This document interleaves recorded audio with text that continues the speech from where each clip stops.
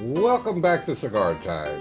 Here we all are. It's Alec Bradley month, and we're honored again to have our colleague from Alec Bradley. We have on my right Sam Phillips, who's the Executive Vice President of Marketing. Good to see you again. Yep. It's nice See to you. see all of Nice you again. back. Yeah. Absolutely. the trip back again. I can't nice stay away. I Yeah, can't stay I away. know. But Philly cheesesteaks, you guys, Pretzels, soft pretzels. you- yeah. soft pretzel. tasty. Yeah. Tasty. Tasty. Tasty cake. Wawa. Now, now, but tasty cakes aren't fair because tasty cakes are everywhere now. I know. but they came from here. right. Of course they came from here. They get the chemicals from other places, but the cakes themselves All right. used to come from here.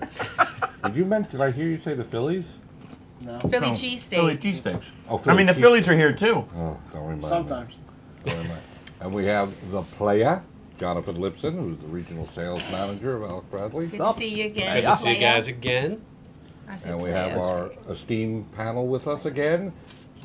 Paul is still out in the fields. He's lost. Hard working, Where man. you Lost. are, he's lost. I think he's lost. No, Paulie is. Hopefully nobody buried him in the field. Yeah, I, I the last time I Paul, you saw never him, he had a plow uh, behind his ass trying to get through the fields. Ass. That's one of those things that slept the uh, Donkey. Donkey here. donkey ass. Wow. Donkey, you know, uh, whatever.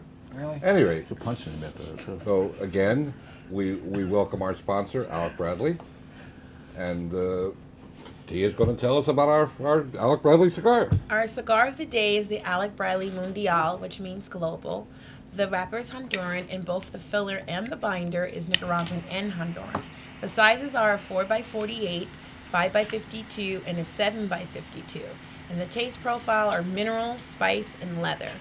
Just want to add that the Honduran tobacco comes from the Trojes region of Honduran. Wow. There's four fillers um, within the Honduran and Nicaraguan, and they have a heavy touch of Esteli Ligero. Um, real quick about the shape of this cigar, because it is kind of you know different and very unique. Um, they shaped it the end shape like lances from the knights that be on the horsebacks and stuff, and each shape carries a moniker which is a punta lanza, which means the point of the lance. There you go. Remember those things? Nice. Isn't that when you just have one glass? Wow. glass? And what Moniker? he's doing so awesome, right? I Moniker. know, You're yeah. like, you're really, you're on it. Thank you. Oh, she was in France. Oh, and also I just want to mention that this is the production is limited to 3,000 boxes of 20. 20 in each. I think we have two thousand of them, don't Do we? we? Are they boxes of? the the last production that that we released and, and, and look this is a a cigar that's in full production Right. Okay. Uh, the issue that we have with this cigar not really an issue but what makes it so unique are the amount of tobaccos that we put into this cigar number one and number two the shape itself. So if you can imagine that there's seven different tobaccos in this cigar we when we when we well last time i was here we talked about the raíces cubanas. Right. you're gonna we talked about complexity. Mm -hmm. There is a lot of complexity in this Yes. cigar. There's a lot there's a lot going on. And that's what makes mundial so unique Mm-hmm. before we get into it Art, i'm, I'm kind of stealing your No, no, thunder no, no, I- no, no, run with it, I- run with I- it, go, I really- go, I go, go. apologize. No, go, go, Steal. run with it. so this this cigar, and again, what makes it so unique is that this cigar is six years in the making. Alan Rubin, who's the president of our company, worked on this project for has been working on this project for six years. So six years so six years ago, Alan actually released this cigar. Mm-hmm. It wasn't shaped this way. It didn't taste this way. Mm-hmm. And as he went to release it at the IPCPR, he said the blend, blend is not sustainable. It's not ready. It's not what I need it to be. And he hmm. pulled all of the production that he had already made and shelved the entire project. Wow. Really? It was yes, and it wasn't until six years later, last year, Right. that he was down in Nicaragua, Honduras. So it was actually like a year, year and a half, two years prior, and Alan decided and Ralphie decided, this is it. This is it. This is this is Mundial. It was nowhere on the docket. It wasn't what we were focused on at the time. They just knew that this specific blend was sustainable. Good. And and that's kind of the and and because of the amount of tobaccos in the cigar, because of the complexity, because of how difficult it is to roll this cigar, that's why we're limited in production because we only mm. have four people, a buncher Wow. and a roller that can roll this cigar. So we have teams. two pair right now. Wow. Now what Alan has told me as of late is that we are have been training for years the other roller and buncher Okay. two two other sets. Wow. So we're hoping to get more into production because the cigar, as you can imagine, um, It sells very well, and because it's so limited, that's what drives that price up. And I'm sure we're going to talk about that at some point Well, as well. Can I- when you say, oh, so when you say it was not sustainable, can you expand?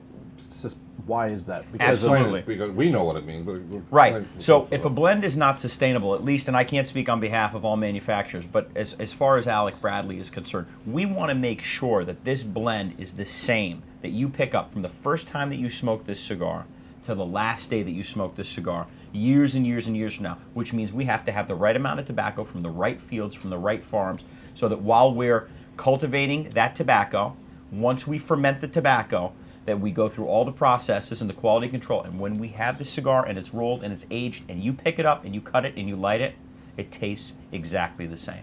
how do you make sure? How do you know? Like Year to year. and like crops, in, in yeah. 2013, it tastes exactly the same as It's 2017. there's there's always well let me just say this there's always variations. The number one word that you hear when when you're down in Nicaragua, Honduras, or the or the Dominican is depende. Uh-huh. Everything depends. It depends on the amount of humidity, the temperature, whether you've got too much rain or you've got too much sun. Right. So we we always try to focus in on our range of what's acceptable because Okay. this is a handmade handmade product. Right. So for us, we want to get as close as we possibly can, but we we front load the cigars. The blend may change a little bit to make up Right. or take away from a little bit of flavor. Maybe it needs a little more time. Maybe it needs a little less time as far as fermentation is concerned. And that's kind of how the process is. has But you have like one person who remembers, oh yeah, that's what this one tasted like. Absolutely. Well, we have almost like like um, with people. people who make with people who make pizza or people who make dough. Yeah. You've got you know your your master that you always refer back The to. blender. Yeah. The tongue man. I call him So the he's tongue like, oh yeah, this this this is right. Yeah. Because it is hard. Because Sure each, it is. each year's crops are going to be Yeah, no, slightly different. different. Mother Nature. I mean, Yeah. you can't. It's not man-made. It, I mean, it's not machine-made. It's So how many can they shape like this in a day? Just curious. This cigar, I don't know. You know what, Tia? I would I would have to I would have to. No, it's. I think it's a great question, Okay. and I don't have the answer. I Okay. don't, unfortunately. Yeah. Then why are you here? I don't know. I don't know that either. I don't have the answer for that either. cheesesteak. Maybe the player. Maybe the player knows. No. Or are we putting you on the put spot? me on the spot there too. I know less than he does. Only because he said that there's only a couple that know how to do it. I just was That's curious. Yeah, daily production I to be I know very that small. I know that we limit our rollers to under 100 yeah, I was cigars a going to say day. 100. Oh, Well, okay. Under 100 cigars a Yeah. day. That ensures quality control. Yeah. So I my my guess my guess would be between the range would be between 80 and 100 cigars a day, but I'm not 100. percent I have to go to Ralph for that. No, that sounds about right. Uh, We, Yeah. Years ago, we used to roll our own cigars up here, and uh, in some of several of our stores, we, we had you know we had the bunch. Were of- you rolling? No. No, he wasn't Yeah, rolling. she you don't would wanna do- see one of she my would roll- do you two wanna smoke bundles a mine, day, right? believe me. Well, we used to Well, knock out. doing we used to 125 knock a out day. for- 125. for each 125. for each Tia? roll about No, no, no. 125 a day. Yeah. That's Evelyn. about Pretty right. good considering it wasn't a team. Yeah. She did everything. She did Yeah. everything, So did- 125 a day. Yeah. Yeah. And these cigars are, are rolled in the tradition, uh, traditional Cuban style entubado, which means is a, a lot of the cigars today they're rolled in an accordion style fashion, and then they're placed together. This is rolled in a tubular Spiral, fashion, in a spiral fashion, Right. entubado. And wow. Now you You know. got it. Knowing is half the battle. It is.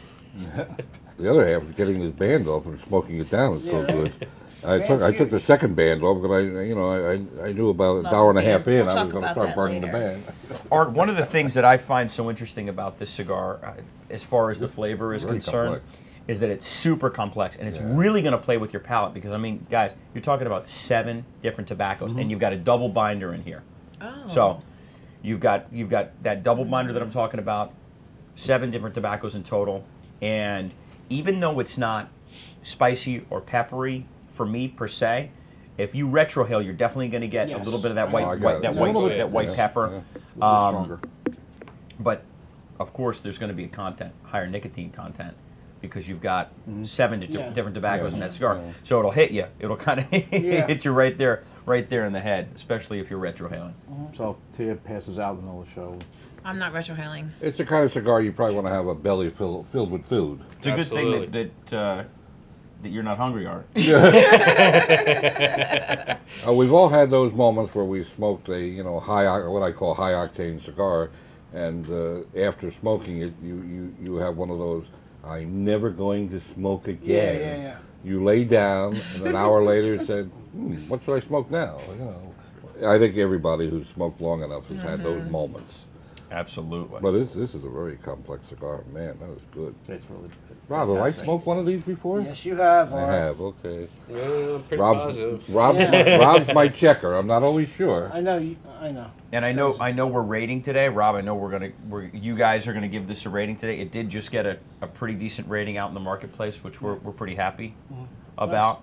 So we hope we get a good rating here today. Yeah. no promises, man. No promises. Now, as you all know, it's what they say is what you get. I mean, you cannot buy a rating You here. get my rating. Although, you know, you know, if the check's big enough. I don't know. Everyone can be bought. Every- Well, not me. I can't be bought. You can't buy me. I definitely, There's, What? not- there's not enough money in the world. You I- couldn't buy me. I definitely can be bought Okay. for the right price. So nope. Not me. Some are cheaper than others. if I wasn't, you so lucky you're over Wait a there minute. today. This is- So Can we hit lucky him? you're over Can we hit there him? today. This is a family show. Where's this conversation going? right in the gutter where it doesn't belong. Throw your hat we out. definitely swayed. We definitely swayed a little bit. Wow. Well, I think it's time to go around the table and uh, get it. Uh, we'll start with Scott just to Well, be wait, safe. we, we can talk about a little bit about Sam, right? Yeah, we- 'cause let's- I Well, we're wanna- gonna come back to But I that. want to Well, go down. let's I'm smoke a little at more the nipple cigar. part. I want Oh. to get a little bit longer, you know. Oh, Yeah. so we should talk about Sam. Please. All right, I'm let's talk enjoying about Sam. What's your background? That was nice. Thank you very much.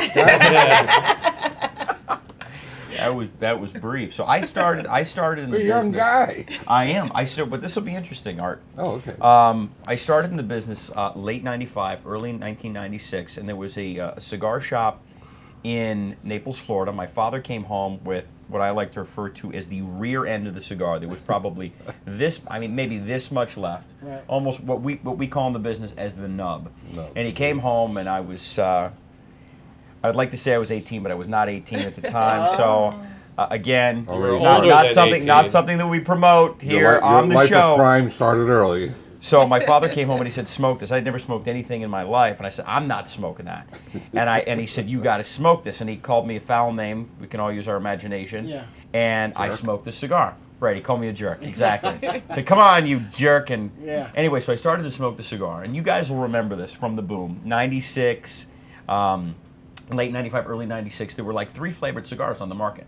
Three prominent flavored cigars. You had that Island Amaretto, the West Indies Vanilla, and the Rum Runner. Rum this Runners, this was Oh, the Rum yeah, Runner. yeah. Okay, Caribbean Company. That's yeah. exactly right, right. And so that was the first cigar that I ever really smoked, and, And I fell still in love with it. And I fell in love with it, and then I fell in love with the process. So I would go into this shop, Mm-hmm. Heaven, um, which later later made their own line of Yeah. Heaven cigars, which turned into Yeah, Heavenly Heavenly, flavored Yeah. cigars. Yeah. I went in, and the owner of the company said to me one day, he said, "Sammy, you, you can never smoke a flavored cigar again." And I said, "Why?" And he said, "Here's my humidor. So if you can imagine walking into one of your humidors, mm. and you say to me, you can smoke whatever you want as long as it's boutique, because they didn't carry any of the major brands. There were no, there was nothing major that was in there. No, no big swingers. Right. And so I started to mm-hmm. smoke. My first cigar after that was a Mikey Butera, and I moved on all the way up into even Lars Tetens at the time. Oh, I remember. Lord. you know, so Yeah. all of those He's things. still around. And that's how I learned. And, and yeah, he's still around, right? He lives around here. Yes, he does. Yeah. He's he's a nice guy. And I met and I met a guy named Rocky Patel. yeah. So right, Rock. I met a guy Not- named Rocky Patel, and at the, is he's just a little guy in the business. He's friendly, handsome, debonair. Anyway, Rocky and I became very good friends, and it was Indian Tabac Cigar Company. So that's how I got my. My start in the Gorillas, business. That's right.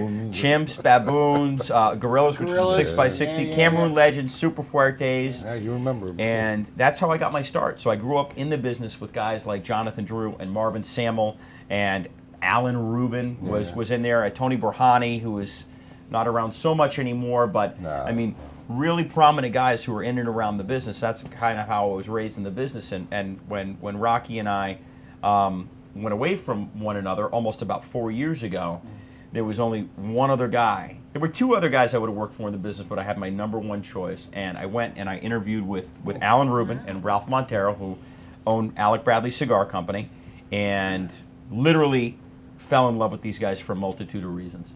Uh, you know, Rocky Patel had gotten so big, and I Right. needed that, that infusion of boutiqueness for myself. Okay. But the boutiqueness and where Alec Bradley you was at the wanted that, time, yeah. And you know, the team at Alec Bradley and the family at Alec Bradley is what attracted me the most. The way that Alan treats his employees, and I'm sure that, that John could expound upon that. And so I've been in the business since 1996.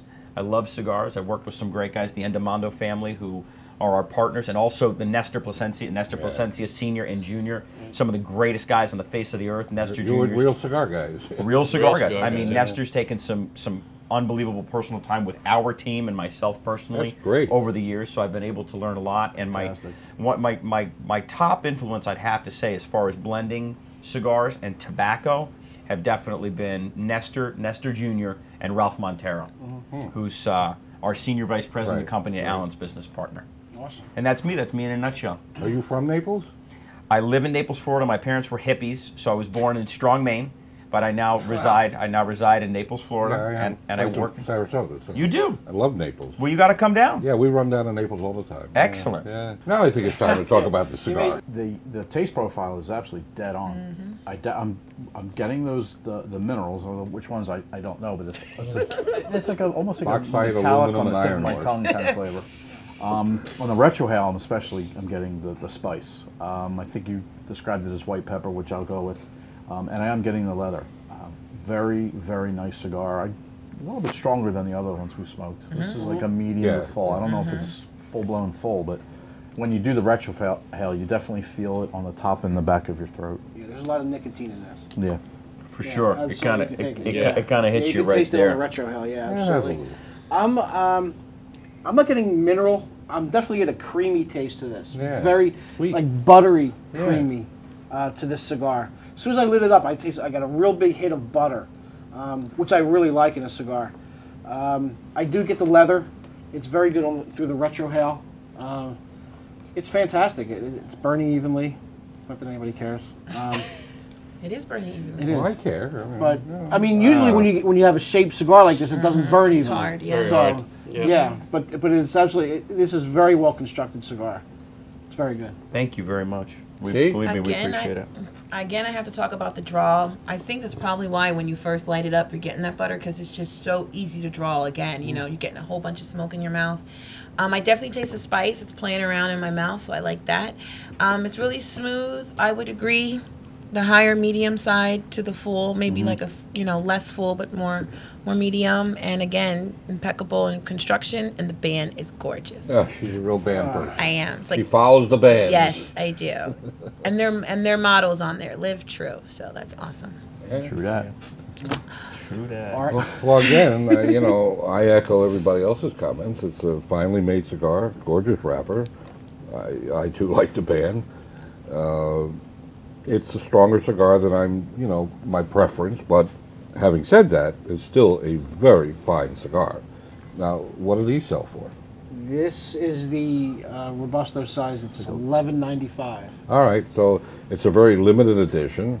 You know, they don't make that many of them every day, so obviously with seven blends of different tobaccos, it's a little tougher to make and a little higher on the pocketbook. Uh, having said that, it is a cigar that can be enjoyed periodically. Uh, but I warn you, once you smoke it, you may want to enjoy it more than just periodically. Yeah. Yeah. It's absolutely worth the money though. It is worth the money, uh, which is Yes. not, you know, we smoke a lot of high end cigars in the course of our normal work week. And we do smoke some, you know, nine, ten, eleven, twelve dollar cigars that we all look at each other and say, what the heck? This isn't worth it. Right. And clearly, like I say, we smoke them so you don't have to. And again, we try to bring you on our on our series of ratings and everything. We try to bring you the cigars that you will be able to find in your tobacconist shop. Uh, a lot of people say, "Well, why don't you rate this? Why don't you rate that?" And and some of these cigars are so narrowly distributed that a lot of you wouldn't know what these cigars were. Although in a lot of cases they're they're nice cigars, but they're so limited. We may carry them, we may have them, but the reason we don't talk about it because there's so many thousands of you watching that that you won't know what they are and appreciate them if you can't go to your neighborhood shop and buy them. So, no, it's a good cigar. Just time to rate it. 4.75. Okay, I kind of so far. Man, I hate agreeing with you. I Go hate agreeing. 4.76. Believe me, No. they hate to agree with themselves. Yeah. Trust me, uh, I know. Yeah, four seven five. Never absolutely. agree with I got a funny feeling I know where this is all headed. Four seven five. Yeah, well, Ooh. Well, let's Gonna make the math easy? It's going to make my Easy? math even. It's a, definitely a four seven five for a lot of Yeah, reasons. very- and the, only- and very the only reason. I bring it down from higher, I would have gone a little higher, is the price. I- Because price is a component of our rating system. It's not a huge component because you know sometimes the difference between a seven dollar cigar and an eight fifty cigar, although it's a dollar and a half and it's twenty percent, it still is not enough to dissuade someone from buying. If you're already at seven, if you're gonna you know step up to a, a, a much better cigar, you're gonna spend a dollar fifty. So Absolutely. it's not like fifty percent of the rating. It's a very narrow portion The of the average is rating. 4.8. No, it's Yeah, a I great like this one more than the last one. Where'd you go to school? What do you say? What? Oh, I'm looking to you. Uh, what are we doing with Alec Bradley during this month? Uh, actually, we've got a couple events co- uh, this week. Please expand I will. upon them. This Friday Or is that and- expound? This Friday, Jonathan's going to be in well, Freehold from yeah. 11 to 2, and then he's going to go over to uh, our Phoenixville store from 5 to 8. Um, we're running specials actually all month long. Uh, if you buy any 20 Alec Bradley or a box of Alec Bradley, uh, you can buy another 10, uh, a 10 pack for $10. So that's buy 20, get another 10 pack for 20 bu- for 10 bucks. 10 bucks. If you buy 10, you can get a 5 pack for $10. Um, during th- that's all month long. During the events, we're going to have other goodies and other specials. Absolutely. If you participate in the event and um, you get to be entered in to win a humidor, which is going to be a small cabinet humidor filled with Alec Bradley cigars. Wow. Oh, That's awesome. So i- again, I I said this last week. This is my favorite of all the promotions that we've done. This is I love this one. I think it's really neat. Good. And then, of course, uh, Monday, next Monday, the 14th, from 5 to 8, uh, Jonathan will be in Westchester. And same same deal. Um, th- during the events, you still do the buy buy 10, uh, buy 20, or buy 10, and uh, but we'll throw in some extra goodies. And I'll be Absolutely. there. I'm gonna show Oh. up. Special Yeah. cameo? Yes. Yeah. John, you're going to be everywhere, aren't you? I'm John, gonna be you guys got- I'll be- you guys got busy. working. Almost, yeah. Wow. Well, that's what happens when you have nine stores. Exactly. Got to dedicate some time to you guys, Yeah, right? yeah, yeah. Need a jet car and roller We skates. appreciate You're that. paying for that, right? Yeah. what the heck? Something I learned recently. Um, it I affects learn all the time. pri- uh, th- this was fantastic. It, uh, it really affects the price of the cigars. You know, they, we talk we talk all the time about aging cigars, or specifically aging the tobacco. Um, you know, they, they, they age it for a year, two years, three years, four years, whatever that is. And I had always thought that they just, you know, they throw it in a cedar room or an aging room, and it just sits there for three or four or five years, whatever. Oh. And I recently learned, you know, as long as I've been around, that um, what they do is they, it just doesn't sit in the room. They actually have to constantly break down the tobacco. Um, they, they, they take the stuff that's on the top and they put it in the middle, the stuff in the middle and the bottom, and the bottom to the top. So it's very labor intensive, and that's one of the reasons that you know you have a you know two cigars that are similar. The one's the tobacco's been aged for three years, and others been aged for five years, and that makes up a big difference in the cost of a cigar. And you know, some you have some tobaccos that have been aged for ten years. So a lot of a lot of what goes into the price of a cigar ha- has to do with the labor that's involved with it. I mean, there's also there's other things, you know, packaging and the rarity of the tobaccos, uh, the shape of the cigar, but the biggest component is is labor. And when you've got something that's been aged that much longer, that's that's there's that much more labor. And I think a lot of people don't don't don't realize the yield per acre Mm-hmm. of tobacco is oftentimes not as profitable as the yield of an acre of other planting, and that's why you know tobacco is a scarce commodity. Good tobacco is a scarce commodity because you just you just can't throw the seeds in the ground and you know come back six months later and there's your plant, cut it, smoke it, and out the door. It doesn't work like that. Yeah. I- i- If you if you studied, and I think Paul in previous shows shows has explained a little of this. If you study the total mechanic of, of, of seed to shelf, it is a rather lengthy, costly, and complex uh, series of routines.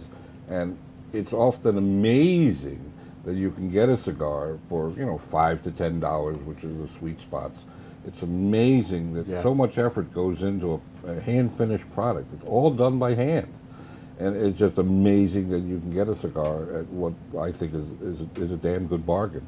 When you think that you pay, I don't know, in Pennsylvania, I guess five, six, seven dollars for a pack of cigarettes, and most Six. cigarettes burn up in five minutes, and you're out, you know, seven dollars or whatever. Whereas a good premium cigar, depending on the size, could be anywhere from a half hour to an hour and a half a smoking pleasure that you don't have to inhale to enjoy. That's the key thing. You don't have to inhale a, cig- a cigar to, to get the full enjoyment out of the cigar. It's not physiologically addictive.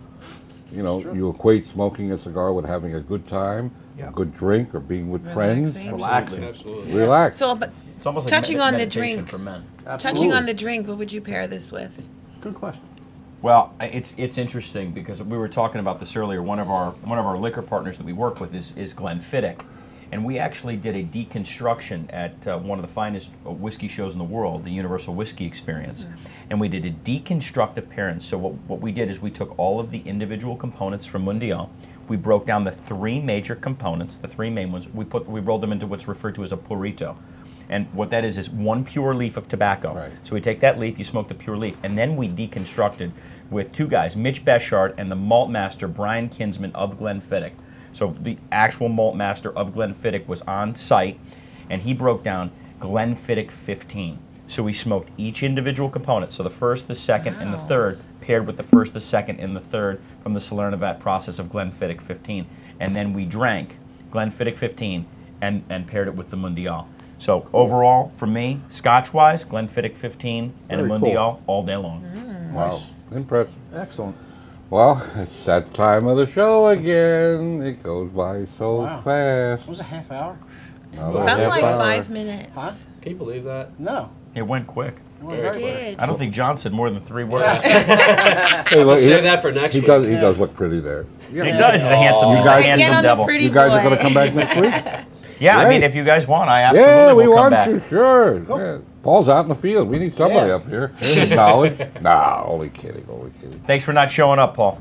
We thank Alec Bradley again for being our sponsors, and I guess it's time to say a quick goodbye. Life's too short to smoke cheap cigars. Hi, Mom. Mom. Ciao for now, everybody. It was fantastic being here. Thank you.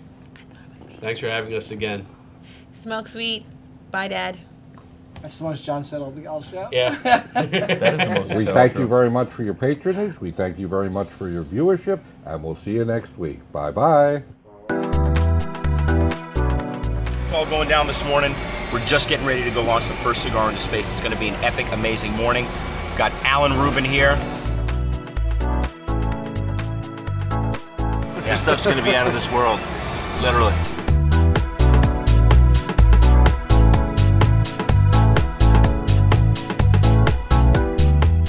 59th floor, Las Vegas, Nevada. Phil Maloof's house. So what are we to do? We're to launch Mundial into space.